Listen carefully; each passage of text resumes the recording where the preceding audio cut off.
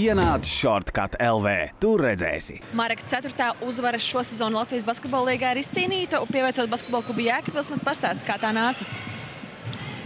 Uh, nu, braucām uz spēli, uh, sagatavojušies kā visām spēlēm. Un, uh, diezgan gludi gāja. Jāsaka, ne, no spēles sākuma kontrolējām spēli. Un, uh, beigās rezultāts ir tāds, kāds viņš ir.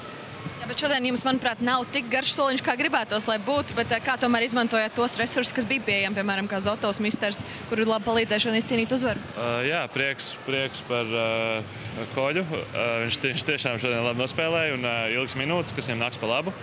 Uh, Misters īstenībā ļoti labi spēlē visu laiku, tā kā tas nav nekāds pārsteigums. Un, uh, Nu, nē, mēs tiešām esam mazākā sastāvā. Tagad arī trenējāmies pēdējos tre, treniņus nepilnos sastāvos. Tur 3 pret 3 un tam līdzīgi. Tā kā šī bija 5 pret 5 spēle šonadēļ pirmā.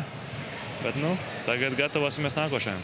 Ja, bet tu kā kapteinis varbūt redz, varbūt nemaz nevajag meklēt neko ārpus. Varbūt tie dārgumi ir pastāvīgi šeit pat komandā un jādod vienkārši iespēju vairāk. Nē, protams, dārgumi ir, un, bet ar to arī var būt pa īsu. Tikko kāds izkrīt, mums tā rotācija ir mazāka. Un, ja būs spēles ar augstāku intensitāti, kur vairāk jāskrien un vairāk jānogurst, tad, tad, tad tas soliņš būs par īstu tomēr. Ja, šī pirmā, pirmais zaudējums, ko diemžēl guvāt Ogrē, jums visu laiku nāk līdzi un neļauj izsisties turnīra tabulas augšgalā. Kādas jūs pašas ietekmē pastāstīt? Uh, nu neko, tagad, kā, kas mums jāsagaida Ventspils, ja?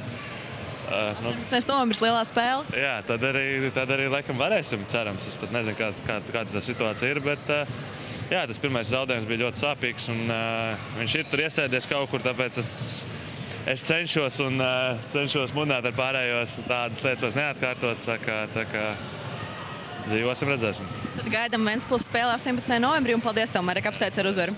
Ienāc Shortcut LV. Tur redzēsi.